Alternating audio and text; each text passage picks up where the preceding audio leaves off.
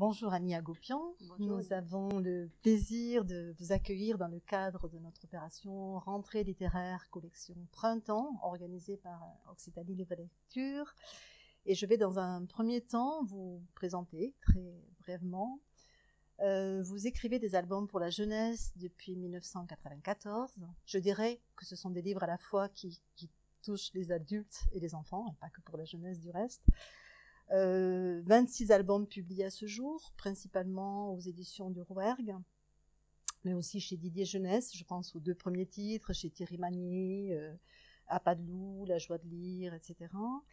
De grands illustrateurs se sont faits complices de votre travail, Olivier Douzou, euh, Régis Lejon, Alfred, Albertine, etc. vos textes traitent souvent de, sujets singuliers et mêlent poésie, humour, gravité. Je pense particulièrement à cet album qui m'a profondément touché, Le Trou, qui, qui, évoque le génocide arménien. Mais je dirais que votre force, euh, elle réside dans le fait que vous dépassez toujours la tragédie, vous utilisez souvent la poésie pour, pour éclairer les zones d'ombre. Et avec ce, livre, Juste le ciel et nous, illustré par Carole Schex et traduit en arabe par Golan Nagy, vous vous engagez plus résolument encore en poésie. Euh, cet album est édité dans la collection Poèmes euh, aux éditions Le Port à Jouni. Euh, je présente très vite cette maison d'édition quand même parce que c'est une maison d'édition très particulière qui a été fondée par Mathilde Chèvre en 2002 à Marseille une dizaine de titres publiés chaque année, tous bilingues, euh, conçus pour jouer avec le double sens de lecture euh, du français et de l'arabe, tous imprimés à, Mar à Marseille. C'est vraiment un choix euh, éthique et politique affirmé par l'éditrice. Et le port à Jouni évite soigneusement tous les poncifs. il s'agit, dit l'éditrice, de proposer des livres qui témoignent d'une autre culture, mais aussi et surtout qui donnent à voir la langue de l'autre donc de reconnaître l'autre dans tout ce que cette littérature peut porter. Et en fait, si vous en êtes d'accord, j'aimerais peut-être qu'on ait l'occasion d'entendre des extraits de ce texte dans les deux langues, en français et en arabe. Juste le ciel. Juste le ciel au-dessus de nos têtes. Juste le ciel perdu dans l'herbe. Juste le ciel et nous étalés dedans. Entre nous et le ciel, parfois, l'urgence d'une comète, puis le malheur plongeant à tire d'aile, puis juste le ciel, à nouveau, perdu dans le silence. Entre nous et le ciel maintenant le vent, l'ombre d'un nuage, peut-être un ange, ou pas, puis plus rien.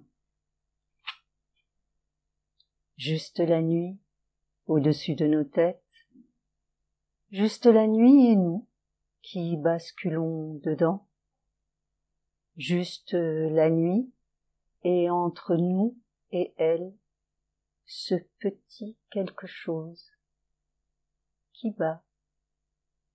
Entre la nuit et nous ce petit quelque part têtu qui pulse. Ce presque rien immense perdu en nous. Juste la vie et nous étalés dedans. وحدها السماء. وحدها السماء فوق رؤوسنا. وحدها السماء ضائعة في العشب.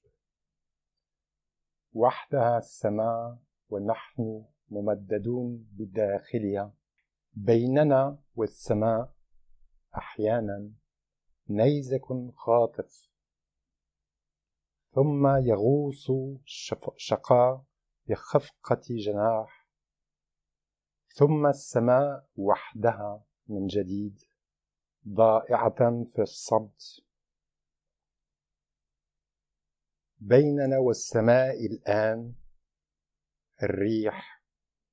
ظل غيمة ربما ملاك أو لا. ثم ما من شيء وحده الليل فوق رؤوسنا وحده الليل ونحن نتهاوى فيه. وحده الليل وبيننا وبينه هذا الشيء الصغير الذي يخفق.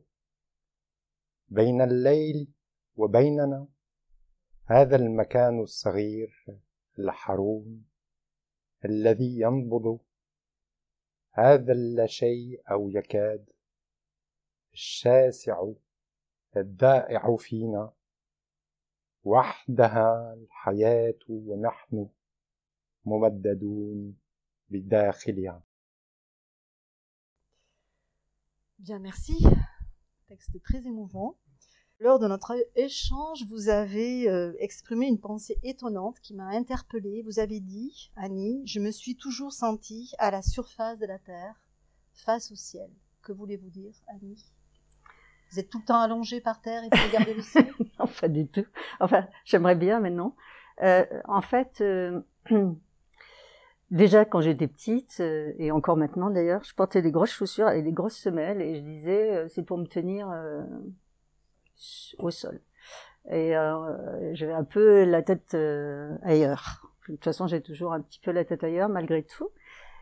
Et là, euh, ce texte, il vient essentiellement, il est, il est, est un pur produit de mon jardin, en fait. Euh, J'habite euh, dans les Cévennes, un, grand, grand jardin, on pourrait dire euh, presque un grand parc, qui est rectangulaire, clos de murs et ouvert sur le ciel.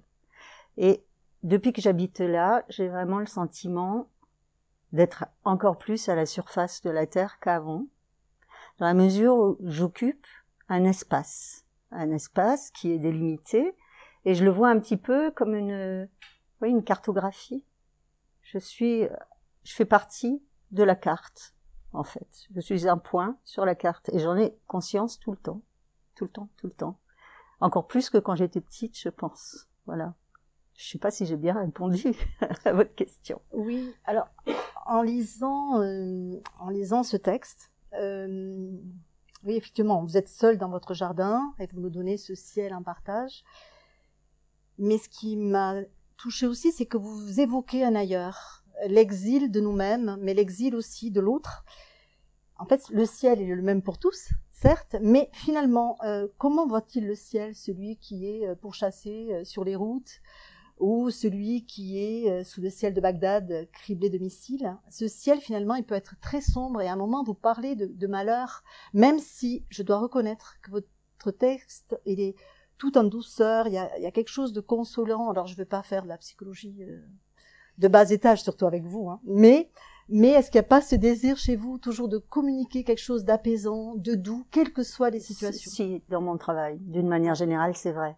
Mais le, texte, le texte, il parle effectivement de l'ailleurs qui est, enfin, comment dire, on est, euh, on est sous le même ciel.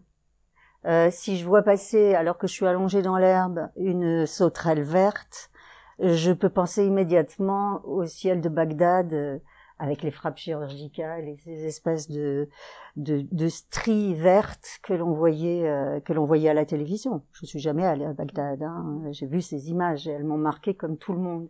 Et j'ai tout, tout le temps cette conscience là d'être ici et ailleurs en même temps. C'est lié à mon histoire aussi.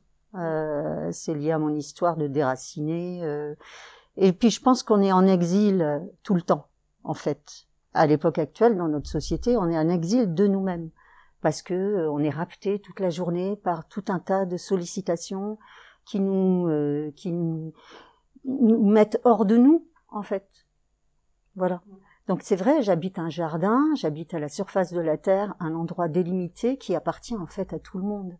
Et quand on est euh, dans ce type d'environnement et qu'on se laisse emporter par les saisons, qu'on est dans le regard des choses qui poussent, qui meurent, qui, re, qui renaissent, dans les bourgeons et, euh, et tout ça, ben je crois qu'à un moment donné, euh, on, on sent qu'on est dans quelque chose qui est impersonnel et qui appartient à tout le monde. Voilà. Je ne sais pas le dire autrement, en fait. En fait, je sais pas vraiment d'où il me vient, ce texte-là. Mais je sais que c'est un produit de mon jardin. Je ne peux pas dire comment il a été complètement élaboré, voilà. Euh, c'est aussi un album sur le sens de la vie, quand même. Il y a, sur la fragilité humaine. Alors, c'est pas vous qui le dites, c'est l'éditrice dans l'argumentaire de ce texte, hein, lorsque l'ouvrage a apparu, mais elle dit Regardez le ciel et pensez à la terre, où finissent nos vies. Il y a quelque chose de l'ordre de l'homme est semblable à un souffle. Euh, ces jours sont comme l'ombre qui passe. Il y a cette notion quand même de questionnement sur nos existences. Il y a, euh, vous dites à un moment, le si peu d'une vie, qui s'en souvient Peut-être le chemin. Il y a cette idée aussi de cheminement, cheminement de nos pensées, de nos vies, euh, cheminement de nos pas, cheminement. Oui, oui, ça, on pense à, au poète du désert. Enfin, En fait, mm. euh, j'ai des fois des pensées enfantines et euh, malgré tout encore. Et, euh, et c'est vrai, j'ai commencé par les semelles de mes chaussures tout à l'heure, mais euh, c'est pas forcément une blague. C'est-à-dire que quand j'étais petite, bah, j'ai toujours eu conscience aussi que j'avais euh, une toute petite surface sous les pieds qui était en contact avec quelque chose de beaucoup plus vaste en dessous. Et quand on a un jardin et qu'on cultive un jardin, on sait à quel point sous la terre il se passe des, choses. Hein et si on plonge un petit peu plus encore en dessous, on arrive au centre de la terre. Euh, c'est quelque chose qui m'est assez euh, perceptible. Et puis en plus, bon, je pratique le yoga, donc euh, il y, a, y a ça. Y a, dans le yoga, il y a l'enracinement et la tête dans le ciel et les pieds dans la terre. Voilà. C'est oui. la posture de l'arbre. Oui, et puis il y a cette notion du cycle de la vie, les saisons. Oui, il y a oui. ce regard aussi écologique quelque part. Il y a, oui. il y a, il y a cette notion de. de... Mais c'est ouais. vrai que c'est consolant ça. Enfin, oui. De savoir qu'on est juste une petite surface, mais que en fait c'est ce qu'on couvre est immense. Oui, c'est-à-dire qu'on est fragile et éternel à la fois. Ça on va est... au-delà de nous. Ouais, on est Donc euh, je trouve ça consolant. On est sous, ouais. sous le ciel et on, on, regarde ce ciel et en même temps, oui, le, on a bien le, nos pas. Euh, et on laisse une et... trace, on ne sait pas laquelle, mais on ouais. laisse une trace. Ouais. Oui, parce que vous parliez à la fin des premiers jours du monde qui sont là, déjà sous nos pieds. Ouais. Euh, Peut-être juste euh, aborder la question des illustrations aussi. Euh, le port à Jouni propose toujours des ouvrages très créatifs. Hein, euh, nous avons ici des images très, très oniriques qui subliment le texte, qui matérialisent le texte. Euh, je trouve qu'il y a un rythme vraiment dans votre texte. Il y a vraiment aussi ce cheminement et puis c'est des expressions fortes et des, et des silences. Et Carole Schex a, réussi, euh, je pense, à cette double page où il y a une expression picturale euh, extrêmement forte et ensuite euh, ce blanc qui est nécessaire. Très, donc ces silences, de si peu d'une vie qui s'en souvient, peut-être le chemin. Et donc je trouve qu'elle a assez bien réussi une intelligence des compositions et des images. Comment avez-vous travaillé ensemble? Comment elle a pu se glisser dans ce texte? Comment avez-vous travaillé euh, peut-être oui ensemble ou pas? Carole a voulu mmh. ce texte en fait. Je l'avais écrit, mais j'avais pas pensé spécialement à un illustrateur. Et, euh, et Carole m'a dit je veux l'illustrer. Euh, et je lui ai dit mais tu sais en gros on a beaucoup parlé. Je lui ai dit mais tu sais dans quoi tu t'embarques? Enfin, c'est, c'est pas, c'est, ça ne correspond pas vraiment comme texte à quelque chose. Enfin, c'est assez abstrait.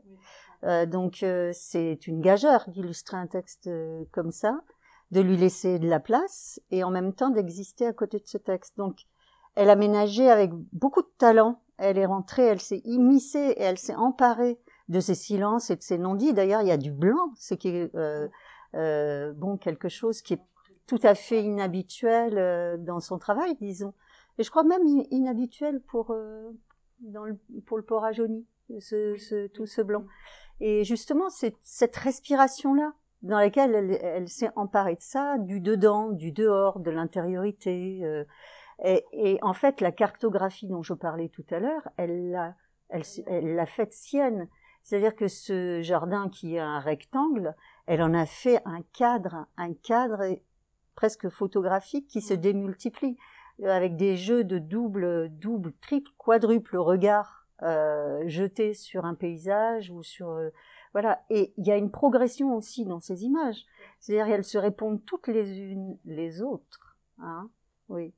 Avec euh, celle du début et celle de la fin, c'est-à-dire qu'il y a un aboutissement et qui reprend euh, beaucoup, alors qui est de la fin en français, le début en arabe, hein, euh, disons, et, et l'une de, le, le, elle, il y a cette traversée aussi au niveau des images, c'est-à-dire qu'elle s'empare au fur et à mesure. On pourrait dire qu'en arabe, l'image va se déconstruire jusqu'à la première, et en français, elle se construit dans l'autre, euh, dans l'autre sens. C'est-à-dire que ce personnage disparaît. Il y a très peu d'humains, contrairement au travail habituel de Carol Schex. Et euh, c'est euh, essentiellement le vivant qui est représenté. Le vivant euh, et qui se construit et qui se déconstruit, qui se détruit et qui se... Voilà. Voilà. Bravo. Merci beaucoup. Et je crois que ce poème Merci. nous rend humble. Merci Annie pour ce travail.